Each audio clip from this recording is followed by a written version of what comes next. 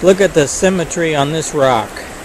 The distance, it's a diamond shaped and these particular diamond shaped are everywhere. I don't know exactly what the diamond shaped represents, but it is everywhere in this area and this symmetry didn't get this way on its own.